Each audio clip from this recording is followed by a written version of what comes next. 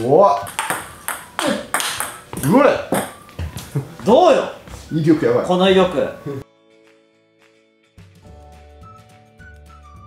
皆さんこんにちは。こんにちは。ワールドラバーマーケットの安です。ぐちです。はいというわけで今回ははい。えー、カウンターやっていきたいなと。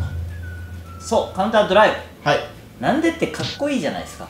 ああわかりますわかります？めっちゃかっこいい。なんかこう、はい。ちょっと試合で一発決まったらおおみたいな。確かに。はい。でもカウンターってなんか難しいうんみたいなイメージじゃないですか、なんか中級者上級者うん。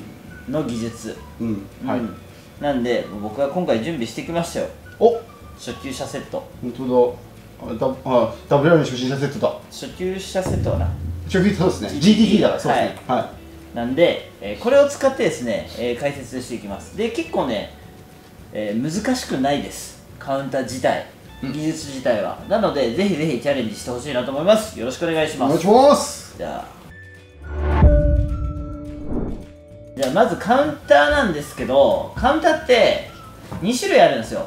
まあ相手の球今からやるのはグッチーさんの球を利用してカウンターする方法。でもう一つが、まあ、相手の球を上書きしてもう自分の力でオラーって打つカウンター、まあ、こっちはぶっちゃけ相当むずい。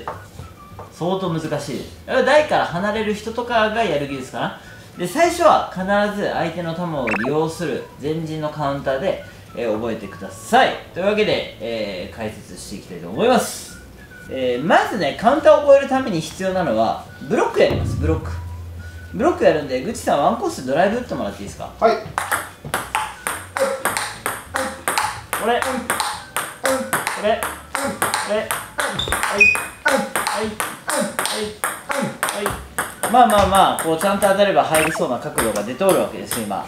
相手の球を利用する打ち方っていうのはあのブロックの延長なんですよ。ドライブに対してドライブするっていうよりはブロックにちょっとプラスアルファしたらもうカウンタードライブになるよっていうような考え方でございますのでまずこのブロックを安定させてください。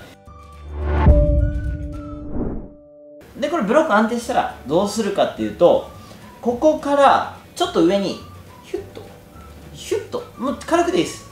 ヒュッと斜めまあまあ上だね。上にかけてください。はい。要は飛んできた球にちょっと回転を足すイメージです、えーこれですね上手くなる前からこう前に振っちゃうと大体ね球掴みすぎてオーバーミスするんですよ、なのでこうプッて軽く上にこう前に球を飛ばすんじゃなくて回転を足してあげるようなイメージで最初スタートします。ちょっといきます。これがブロック。ブロック。足す伸びましたね。ブロック。足すお。ドドライブ。そうそうそう。だからブロックの角度にちょっと回転ちょい足ししてあげるような。こ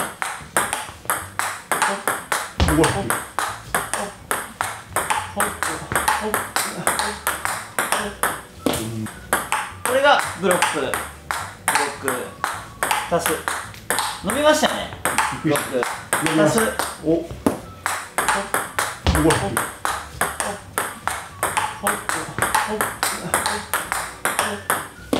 これを強化していったらしっかりとしたカウンタードライブになっていくよっていうところですね。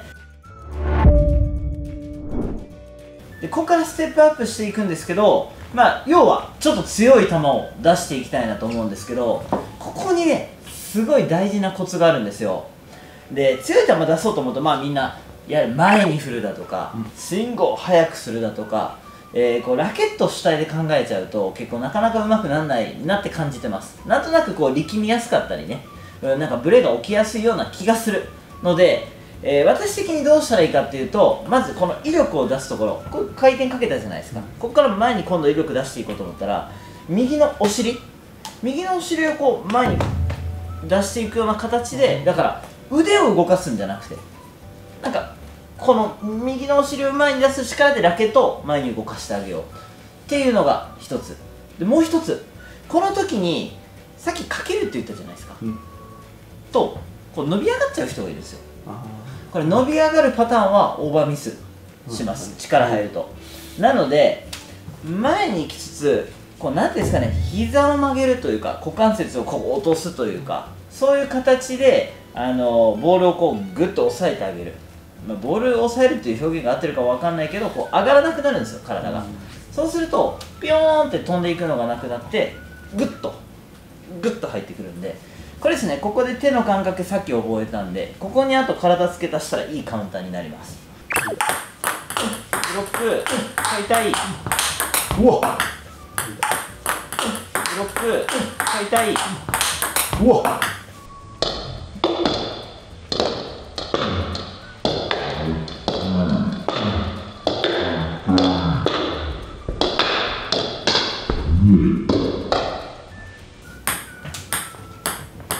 二つの技が。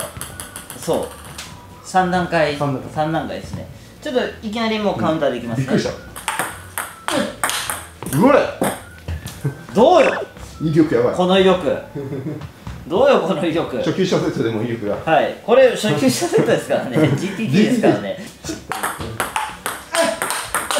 おお。うわ。れ二回打たれた打ち返されると思うごめん。うわおお。うわれ。二回打たれた打ち返されると思うごめん。うわ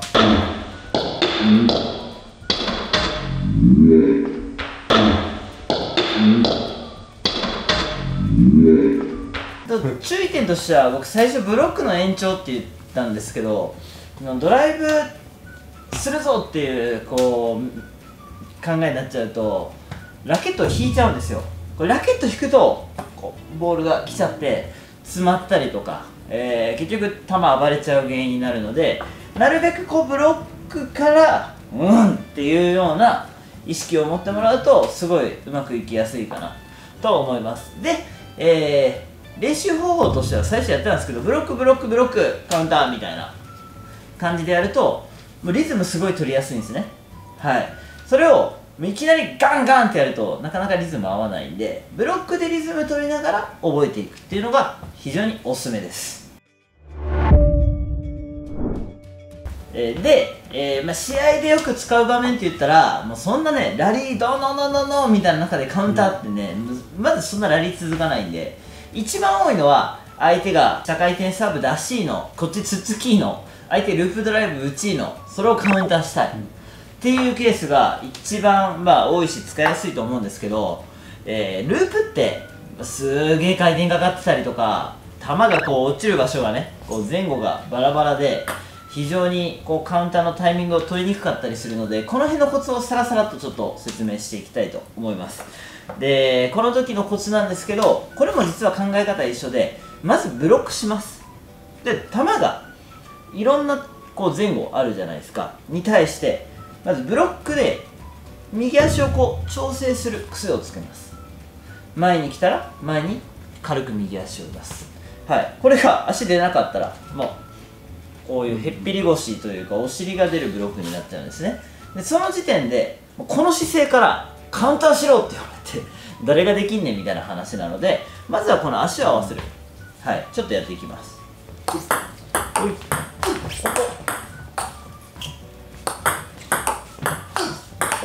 そう。このブロックの姿勢がねちゃんとできないと結局カウンターまで持っていけないので結局やることはさっきと一緒ですね、ただ前後とか回転の差があるんでピッて足を合わせる癖をつけないとうまくいかないですっていう話。でここからまたさっきのあの軽く上に力を足していくっていうのをやります。軽く足す。軽く足してあげる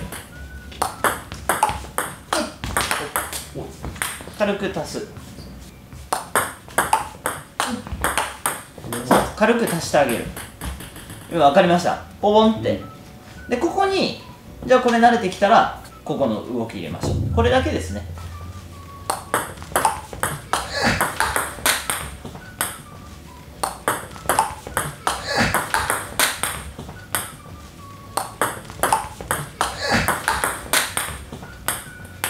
今とか結構難しいけどいい感じだったんじゃないですかね。綺麗に。ちょっとミドルぐらいに来たボールに足運んでトン。そうもう一回やってみます。